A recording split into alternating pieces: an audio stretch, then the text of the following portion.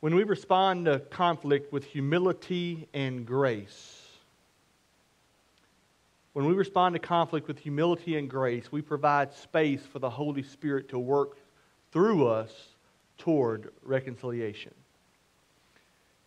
The date was 1962, and a young president, John F. Kennedy, just 44 years old, he sits at his desk, a decision he makes moves armies of the most powerful nations in the world. The crisis he faces, if you remember this, is of immense proportion. Photos were taken from a reconnaissance aircraft. One picture in particular revealed that the Soviets had placed medium uh, range missiles silos in Cuba. They were capable of going anywhere in, in the United States.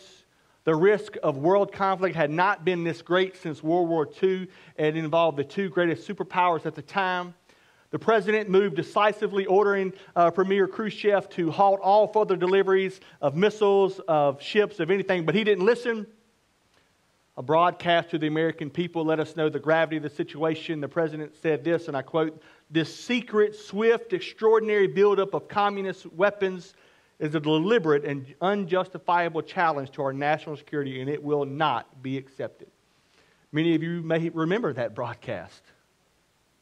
America braced for what was to come. President Kennedy ordered the immediate naval, air, and blockade of Cuba. Premier Khrushchev decided he would test this young president's merit and he would challenge the nation's resolve as he would confront our convictions. So Soviet ships sailed towards Cuba. The world held its breath in nervous anticipation as hours crept by. The ships grew closer and closer to one another. The Soviets determined to press the boundaries, walk the line, just to see how much they can get away with. If you remember watching, they, they literally, the ships were 100 yards apart. The Navy was on full battle alert, ready to stop the Russians at all costs. As you were glued to your TVs and your radios, who would flinch? Who would fire? What would the world look like after this potential nuclear fallout? And with just seconds to spare on the brink of disaster and destruction, the Soviets turned their ships. This incident in world history is parallel to our lives in many ways. You see, a lot of us are in a dangerous game of spiritual brinkmanship, aren't we?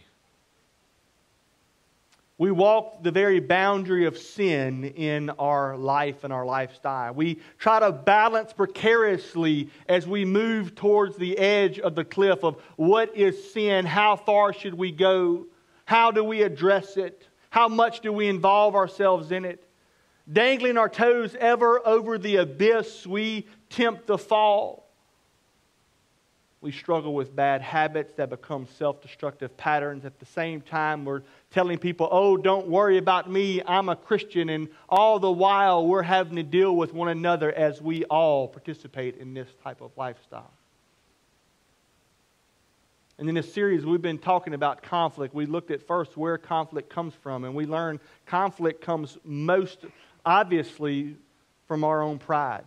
We want what we don't have, and we do whatever we can to get it. Last week we looked at how does conflict uh, impact the church, and, and, and we asked that question, and we learned that the church, we are to be involved in one thing the mission that Jesus Christ has given every church, which is the Great Commission. So we unite around that. And the way we fight conflict in the church when it comes, because it will come. We're sinful people. We, we, we, deal with sinful habits, and, and we all have opinions that try to occupy the same space at the same time. So conflict is going to come. Kyle and I are going to have beef, right, Kyle? It happens.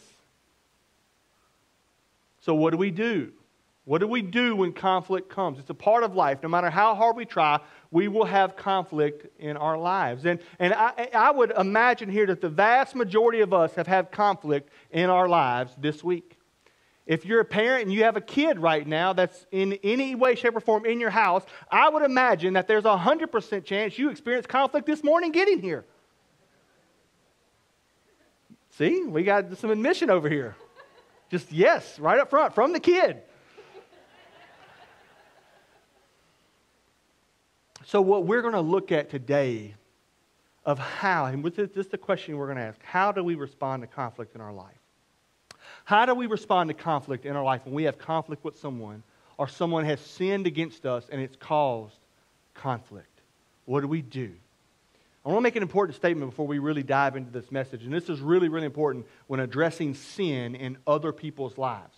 Because a lot of times, the conflict may not involve us directly at all, but we'll see sin in someone else's life and we think it's our duty to go fix that person, don't we?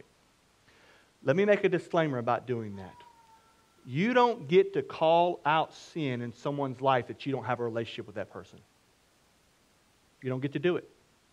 If you're not walking with that person, if you don't have a relationship with that person, guess what, guess what it's going to do if you go and jump and call out sin in someone's life you don't have a relationship with? How do you think that's going to go, John? Not well, huh? It's not going to go well at all. See, John calls out sin in my life all the time, and it works well because John and I have a relationship. So I just tell John, thank you, shut up, leave me alone, right? And he just keeps coming back for more. But if we remember our main idea, and this is this, I want to review this that if we respond to conflict with humility and grace, we will provide the Holy Spirit a space to work in us and through us towards reconciliation. And we're going to look at this from two points this morning. One, from a church perspective, how does the pastor deal with conflict? Like, what is my role in conflict in, in, one, in, in the larger sense? We're not going to get into the details. We'll look at that a little later. And then from that, we're, we're looking at this big overview. But then I want to give you six steps you can take to deal with conflict in your own life. Just six takeaways from the Word of God of how to deal with conflict in your own life. Now, we understand that low level conflict, it provides us an amazing opportunity to practice the Beatitudes that Jesus tells us in Matthew chapter 5 and to, to grow together in a way that we often seldom don't have the opportunity to do. And so we all have this conflict in our lives, and if you don't now, you will, trust me. And it's important that we deal with this, and one reasons we're looking at this is because we need to learn how to deal with conflict, how to approach conflict in a biblically informed manner so that we can honor Christ when it comes. Father God, as we turn our attention to your word this morning, Lord, would you fill us with your spirit? Would you engage our minds as well as our hearts? And would you draw us to yourself through this? As we seek not just to be pragmatic, God, we're not just trying to figure out how can I fix problems in my life. That is not our goal here, but our goal is how do we honor these Christ centered relationships that you've given us for your glory? How do we stay unified as a church when conflict comes? How do we press on in the mission that you have given us to be disciples who make disciples for your glory? That's our goal, Lord. We ask this in your name. Amen. So, the first thing I, want, I want you to know as we dive into this that the pastors, your pastors, are charged with setting the example of how to deal with conflict. Your pastors are charged with setting an example of how to deal with conflict. It would do no good if you saw me in conflict with one with someone. You knew I was in conflict with someone. You knew Gene was in conflict, or Daniel, or Chris, or Hayden. You knew one of us were in conflict with somebody, and you knew the way we handled conflict was not a biblical manner. How would that then affect the way you would handle conflict, right? So we, we as pastors, we want to handle conflict. We want to set the example of being humble and gracious in any manner when we have to deal with conflict. And you say, well, why, do we, why are we preaching on this? Quite frankly, because the Bible speaks to it, so we deal with it. And we want to learn how to deal with these things in a godly, Christ honoring manner. And so, what God does is He charges the leader, the pastor of the church, to present the whole counsel of God. And we see this explicitly in 2 Timothy. I want to look at this with us together this morning. It's going to set the stage for kind of why we're doing what we're doing before we dive into the what we're doing. So 2 Timothy chapter 4, verses 2 through 5. So, this is Paul's charge to Timothy as this young pastor. Paul says this to the young pastor. He says, Preach the word, be ready in season and out of season, reprove, rebuke, exhort with great patience and instruction. For the time will come where they will not endure sound doctrine. But wanting to have their ears tickled, they accumulate for themselves teachers in accordance to their own desires and they will turn away their ears from the truth and will turn aside to myths. But you, and now he's speaking to him, he says, You be sober in all things, endure hardship, do the work of an evangelist, fulfill your ministry. Now, this passage is often given to pastors at pastors' conferences to reiterate the work that we have been given. But I want to focus in regards to how the pastor is to equip the church. Paul mentions several valuable points here, and I just want to, to highlight four of them for, for us this morning. So you can say, what's the role? What is, what is one of the roles of the pastors of the church? Why are we dealing with this? Why are we walking through this particular series? The first thing we see is that the pastor is responsible to do what? What does Timothy say? And Paul say, he says, Timothy, you are responsible to preach the word. You have a biblical responsibility to take the word of God and preach the word of God. Now, this is what's interesting. He does not say preach just the Old Testament, does he? He doesn't say just preach the New Testament. He doesn't say just preach the parts that you like. He doesn't say just preach the parts that, that are soft. He, does, he, he doesn't say that, does he? He says preach the word. That's the whole word. Everything from Genesis to Revelation, preach the entirety of the word. And so, what happens as a pastor, sometimes as a preacher, you will be tempted to not talk about certain topics for fear of reprisal from the congregation. You don't want to talk about sex. You don't want to talk about money. You don't want to talk about divorce. You don't want to talk about racism. You don't want to talk about injustice because these things get you looked at real funny. But the beautiful thing is, is that it's not my choice of what to preach. God just gives His word and we preach it. And that's one of the reasons we specifically most often preach through books of the Bible here, because if you're preaching through a book of the Bible, you can't skip a verse because somebody says, hey, why'd you skip that? I remember when I was preaching through Matthew and I, I, I, was going through the Sermon on the Mount, and I got to Jesus' talk on divorce. And I had only been at, the, uh, at Satsuma for about a year. I was like, I'm not, I'm not here long enough to talk about divorce. There's like 40% of the people in the church divorced, right? And I'm like, I'm not, I don't want to do this. So I was like, I was going to skip it. I got nervous and I was like, got convicted. I said, I can't skip it. So we paused the whole series, and I just did a five part series on, on marriage, divorce, and remarriage. I promise you, not one of those sermons, not one of those five sermons did people say amen. Not one. Not, not one person on the way out said, Preacher, that was a good message this Sunday. Not one. Did, did I necessarily want to have that impact? No, I didn't. But did I have a choice? Not if we're going to be responsible to preach the Word of God, the whole counsel. So the, the, the minister is called to preach the whole counsel of God. He preaches the Word correctly and consistently because when we do, as what we're doing now, talking about conflict, we're going to provide a foundation for you to be equipped in all of life's issues because that is what God has given us the Word for, to equip us for all of life. Second thing the pastor is responsible to do is the pastor is responsible for teaching and instructing the body.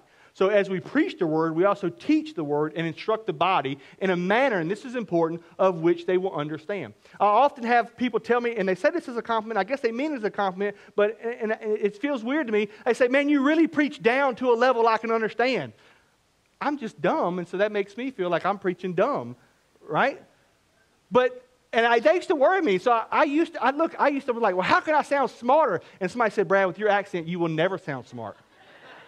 There's nothing you can do to ever sound like you're not like you're smart. It's never going to happen. You can use all the big words you want. They're not going to believe you when you say them.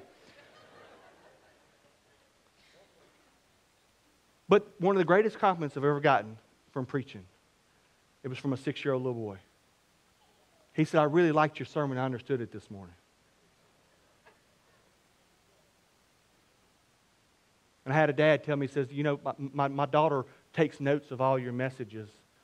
He said, because you can preach in a way that she understands. And, and I remember, this was years ago, I, I said, I, I, I determined to preach in a manner in such a way that even a six year old could understand what we're talking about. There may be some aspects that maybe, but the core of the message that even a child can understand. Because if, if, if we, if the person here preaches in a manner that you don't understand, what good is it for you?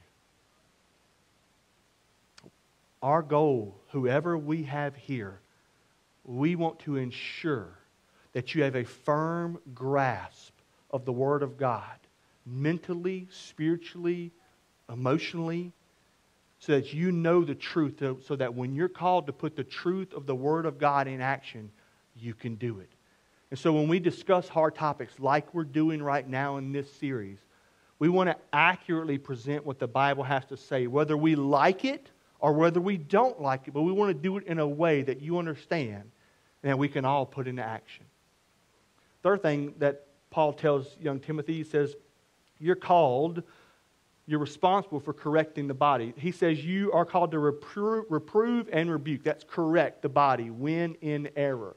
So if, if, if we know of glaring sin taking place, unrepentant sin that the church is engaged in, that's causing harm to the body, that's stifling the work of God within the body, it is the duty, it is the obligation of the pastor to confront and address. Because Jesus tells us one thing to me that, that, that burdens me and, and the other pastors we have on staff here, your pastors, that we, every one of us, will have to stand before the Lord and give an account for how we shepherded you.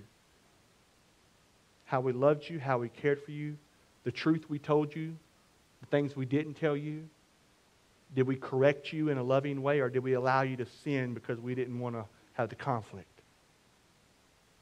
Yes, we do it out of love we correct theological errors. We correct, life, correct lifestyle errors, but it's part of the responsibility of the pastor because we're held accountable by Christ himself as the chief shepherd. And the fourth thing the pastor is responsible for doing is protecting the body. He's called to protect the body physically if needed, and more importantly, spiritually. And I remember several years ago when I was at my last church, we had this guy come in and he wanted to join church and he kind of jumped all in and he was doing real well and, and he wanted to get involved in this particular ministry and it was a semi-local ministry. He wasn't super involved, but he wanted to get involved in this, this, uh, this homeless ministry a couple towns over. And so we started doing a few things. But then I noticed he started preaching and, was going around different Sunday school classes teaching asceticism. And asceticism is basically this that we should all live as poor as we possibly can in rags and riches to be as poor and as spiritual as we can. Well, I knew that was wrong because Paul actually deals with that in 1 Corinthians. He says people that are preaching that, they're not preaching the gospel, right? So that's a different gospel. So that's not the gospel. And so I had to confront this guy over that. And he got, he got irate. He says, he says, You're teaching, you're in error, you're in sin. I'm going to tell the whole church you're in sin. I said, Hey, buddy, have at it. Stand up and tell them. And, and, and it, it was really, we had this like duel on Wednesday night. It was pretty cool. I liked it. And I ended up and said, Hey, hey, you're no longer welcome at this church. Now, I know some of you, you were like, you tell somebody they're not well. No, if you're teaching error in sin theologically and you will not repent of that, you will be asked to leave.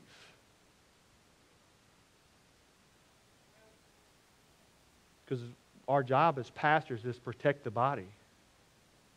So we take the proper position, position in leadership to reach, teach, protect, and correct. And I showed you this simply, and you say, well, how did, what does it got to do with conflict? Because I want to provide you with a foundation, a rationale for why we're dealing with these hard topics. And so now I want to dive into looking at the proper procedure to address conflict in our life. But I, I want to make this before I do this. This, this statement, this is, this is the most crucial thing. If you really get none of these six steps, I want you to get this. Approaching conflict with the proper attitude will make all the difference in the world. How you the attitude you bring to someone that you have conflict with will make all the difference in the world. Ruby was born in the Delta region of the Mississippi River in 1954. And in 54, if you remember, the Supreme Court heard a case called the Brown versus the Board of Education. After arguments were made, the High Court ruled that separate but equal education for blacks and whites was separate, but it was in, in, no way equal. Segregation officially ended the year Ruby was born, but in reality, it hung on for a long time after. Six years later, Ruby's mom got her ready for her first day of school. Little Ruby wore a white dress. She was so beautiful, and she had a white bonnet on her head. She had all the fears and all the hopes of a, any first grader, plus, she had the weight of the state of Louisiana sitting on top of her young shoulders. At only six years old, young Ruby was escorted to her first day of school by 75 federal marshals. Could you imagine the fear in that little baby's heart? When she enrolled, every other student withdrew from school. But their parents were there to greet Ruby on her first day of school. Hundreds of people lined the sidewalk of New Orleans Elementary School leading to the entrance. As that little baby passed, they screamed hateful words, spiteful slurs, racial slings. Not only did all the other students withdraw, but almost every teacher resigned in protest. But one teacher stayed to teach young Ruby. And the judge who ordered that Ruby be allowed to attend school also, also assigned Ruby a therapist to monitor her mental health and the mental health of her family. And one day the teacher called to report to the therapist some deviation in Ruby's daily routine. From the school window, the teacher noticed that Ruby uh, had stopped and apparently talked to the angry mob outside to greet her each day. And she asked Ruby about the confrontation, but Ruby said she hadn't spoken a word to the crowd, and the therapist agreed to, to meet with her that evening. And as the therapist met with her, she said, Ruby, your teacher's telling me that you stopped and talked to those people. She said, No, sir, I didn't. I didn't talk to them. And he said, Well, you stopped in front of them. He said, Yeah, but I didn't talk to them. I prayed for them. Ruby said, He said, You prayed for them? And he said, What'd you pray for them? Why'd you pray for them, Ruby? And she said, Don't you think they need praying for? I suppose, the therapist replied, but why were you praying for them? And that little baby said, Because I'm the one who hears what they're saying. And the therapist tried a different approach. He said, What did you pray? And this little six year old, faced with all that hate and that racism and that sin, that little girl was raised with such a godly mama. This was her prayer. As she stood in front of them, as, as, they, as they called out horrible things to her, she prayed, Dear God, please forgive them. They don't know what they're doing. See, the attitude that you and I take to approaching and dealing with conflict has the potential to make all the difference in the world. All of it. So, what I'm about to share with you is a simple blueprint for how we can handle conflict or sin in your personal relationships. This is not necessarily a blueprint for how to handle conflict in the church, although we're going to deal with that in, in the next week or so. Some of the steps will apply, there'll be some crossover. But I want to provide you with a blueprint for how to deal with personal conflict because we all have it. And in doing so, we must remember that, that the vast majority of personal conflict that happens in our lives, it, it, it, it arises out of the sin of pride in either one or both individuals' hearts. So let's ask the question how do we deal with conflict? What do we do when we're sinned against? The first step is this the first step we must take is not the step that you think you would take. When you're in conflict, when someone has sinned against you, the first step I want you to take is to examine yourself and you repent of any lingering sin in your own life first. First. Jesus says in Matthew 7 5, He says, Hypocrite, first remove the plank from your eye, and then you will see clearly to remove the speck from your brother's eye. So when you know there's conflict between you and someone else, I want to encourage you before you ever think about addressing conflict with another person, ask the Lord to reveal any sin in your heart that you need to repent of, and specifically any sin within that relationship that you have. Ask God to reveal that to you. Ask the Holy Spirit to help you see. Ask for wisdom for the resolution. This step cannot be overemphasized, it cannot uh, be overlooked. Failure to do this part will jeopardize the entire process of conflict management and conflict resolution in your life. Take the time, be humble enough to say, I may be wrong. Be humble enough to say that. Be humble enough to pray that. The second step is this approach the individual with love and grace and do so one on one. Matthew 18 15, Jesus says this If your brother sins, go and show him his fault in private. If he listens to you, you have won your brother. Go in love and grace. See, a lot of times, this is what happens when we have personal conflict. We go not to resolve the conflict, we simply go to win the battle. Do you see the difference? There's a huge difference in my attitude of how I'm going to respond or the things I'm going to say, of my body language, of how I'm going to allow the Word of God and the Spirit of God to minister in my heart and through me, if I go there with an attitude of resolution for the glory of Christ in this Christ centered relationship, or if I go there with an attitude to win. So go with an attitude of love and go with an attitude of grace, realizing that uh, they need the love and they need the grace just like you need the love and grace of Christ towards you. And it might advise you go go one on one. Here's the deal: the issue is between you and them. It's not between you, them, and your mama. It's not between you, them, and your best friend. It's not between you, them, and the prayer line at church. Allow the Holy Spirit to work through you first to come to a resolution. third step I, I want to encourage you to do is to be direct. Don't beat around the bush. Be direct, and, and this is key. Be gentle when confronting sin and dealing with conflict.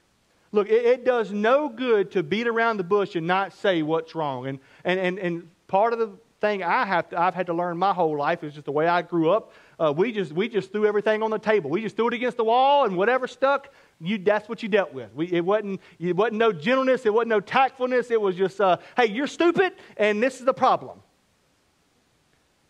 Please don't say those words to another person. That will only exacerbate the problem that you have. Right? When you're direct, you say, hey, when you did this, this is what I experienced. When you sinned it, when you said this, when you did this, when you didn't do this, this is what happened to me.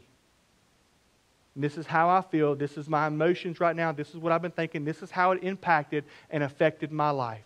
But I, I, I want to caution you to do so with gentleness. Galatians 6 1, Paul says this Brethren, if anyone is caught in any trespass, and that's what a conflict between people is, it's a trespass of trust in the relationship, right? You who are spiritual, restore one in such a spirit of gentleness.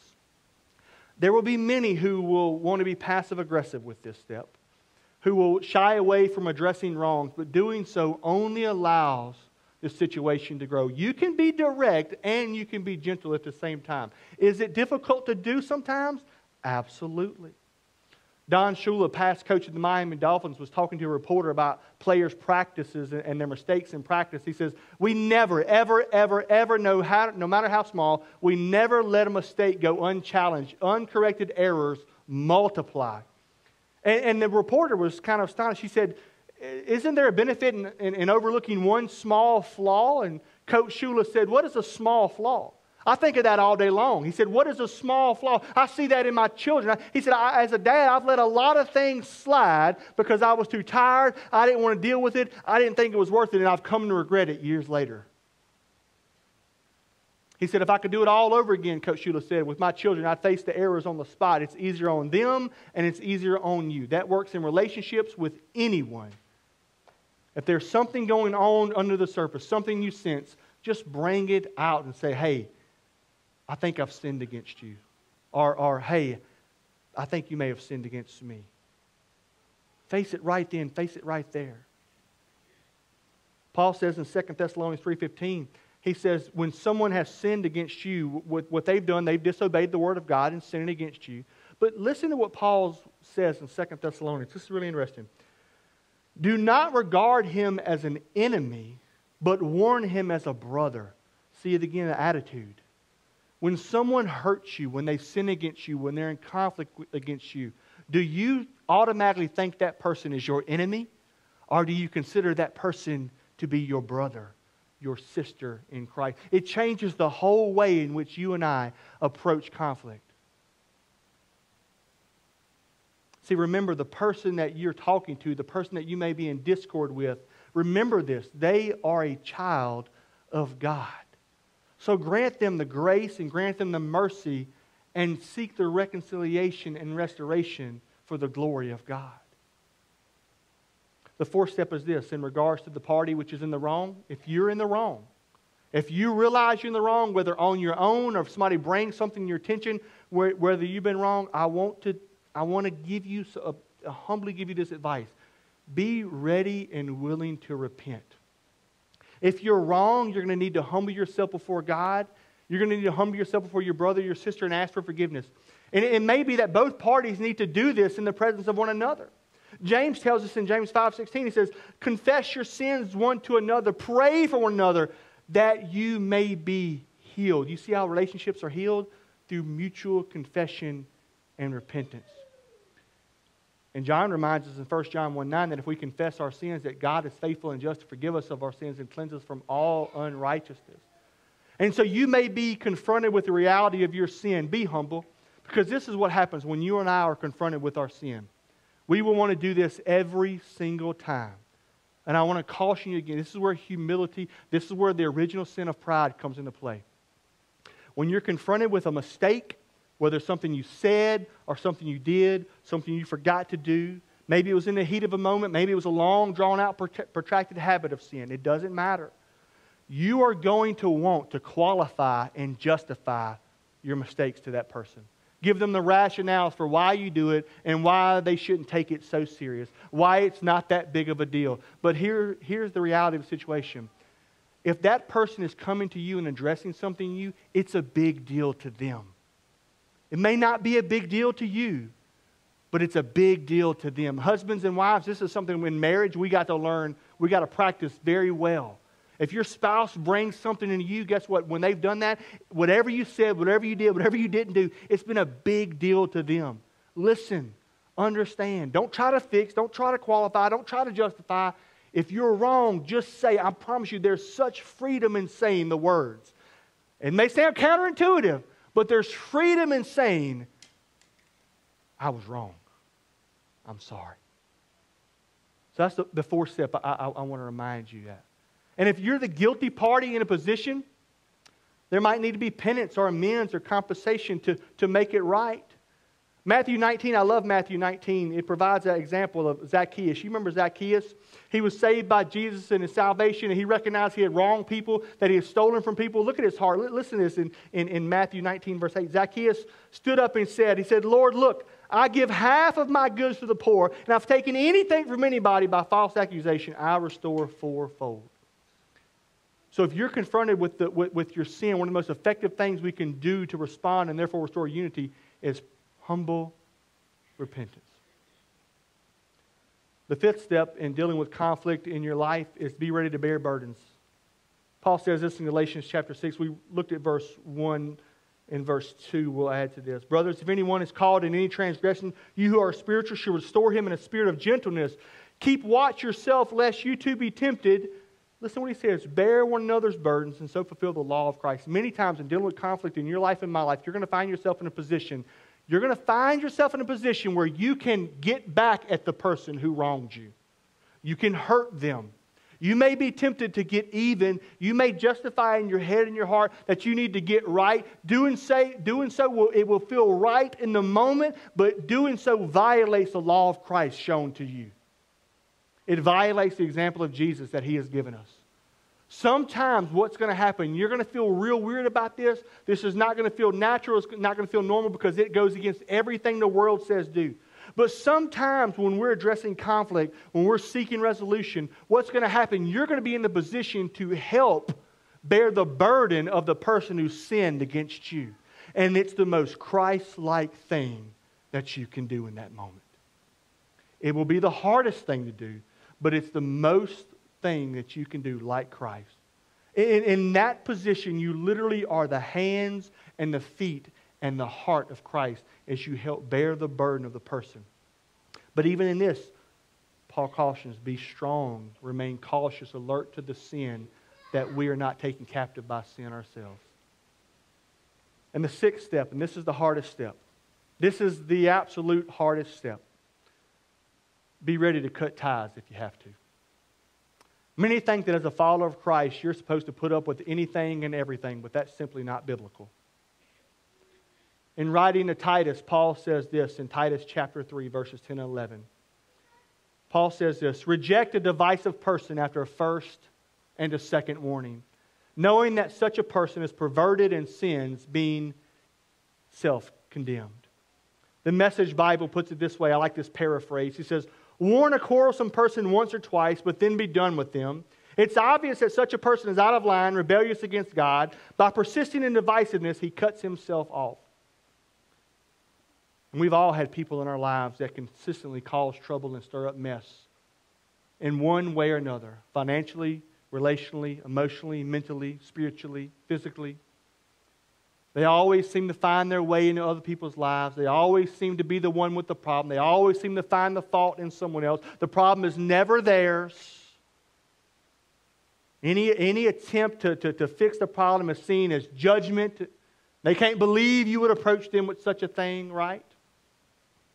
The Bible says make two, and when we, we put this with what else we've talked about, we make godly attempts to correct and address and if, if in loving correction they're still divisive, they're still causing problems, they're still causing conflict, Paul says, cut them out of your circle of influence. You've done everything you can. You don't stop praying for them, But there's no need to allow that person to infect your life and infect the life of those you love if they're continually causing conflict without repentance. So, as we look at these six steps, we see, therefore, our personal life. And I, am going to put a disclaimer. Following these six steps are not going to guarantee you continued fellowship. They're not going to guarantee you restoration or reconciliation. They're not. It's not guaranteed.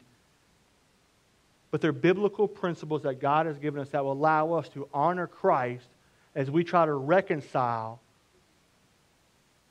and pursue Christ centered relationships in our life. How different might our relationships be? How different might conflict resolution be if we applied these principles? But before our team comes up, let me ask you this question. There may be some of you here right now, and, and your largest conflict in your life is not with people, but it's with God. You may be a person like the prodigal son. You have a relationship with God, but you're mad at God for some reason. He let you down in some way. He didn't answer prayer the way you thought it was going to be answered. Maybe a loved one was taken too soon. Maybe, maybe disease and physical pain has rocked your body and you can't get over it. Maybe you have some shattered relationships that you're blaming God for. Beloved, I want to encourage you to come back home. God is not in conflict with you, He's a loving Father. And we sang of His goodness and His mercy this morning. He is calling you to come back home to Him. And if you're here this morning, you don't have a relationship with God, Paul tells us in Ephesians chapter 2 that all those who stand outside of a relationship with God are what he calls children. The Bible calls children of wrath. You are standing at the throne of heaven facing the wrath of God because you're not in a relationship with Him through Jesus Christ. Now, God doesn't desire you to be in conflict with Him. He doesn't. And it doesn't matter, it doesn't matter if you're a kid here, it doesn't matter if you're in junior high school, college, it doesn't matter what age you are. You may be a young adult, you may be a, a senior adult. It doesn't matter. You need to understand that, that you are in conflict with God, and God does not desire to be in conflict with you because He sent His own Son to die for you, that you might not be in conflict with Him, but that you might be reconciled unto Him through Jesus Christ.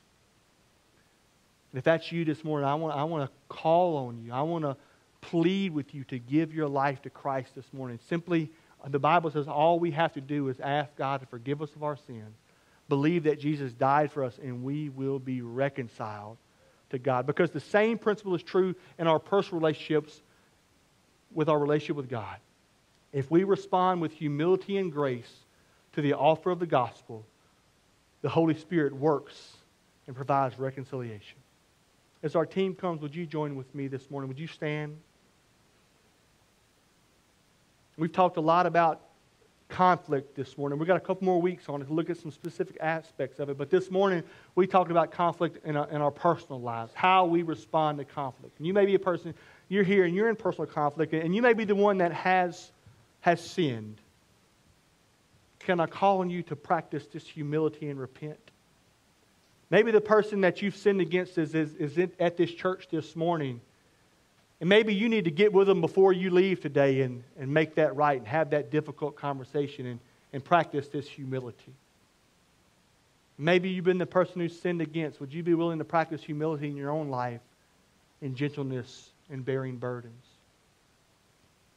And if any of us here stand in conflict with the Lord, may we be made right through a humble repentance in Jesus Christ. I'm going to pray, and as we sing, we're going to give you a chance to respond. Maybe you're here and you need to just come pray. We'd love to pray with you. We're going to have pastors up here. We'd love to pray with you. Maybe you need to just sit down where you're at and just have some time alone with the Lord. That's fine. Maybe you've made a decision about joining our church or following through in Believers Baptism. We'd love to help walk you through that. But, beloved, we gather here to hear the Word of God, to exalt God as we respond to His Word. And so we don't want to leave here without responding to the Word of God. So I'm going to pray, and as we sing, would you respond? Father God, thank you for the, the word you've given us this morning. Thank you for your love, God. Thank you for your, your grace, God. Thank you, God, that the ultimate conflict that we have with you, that you've taken care of in Jesus. And if any of us here, God, have conflict with you, that you would help Help us see our need to humble ourselves. And God, as we try to have Christ centered relationships, exalt you in all of our relationship with friends and with family, with coworkers, with church members. God, you, would you help us honor you as we seek to reconcile these relationships? We ask this in Jesus' name.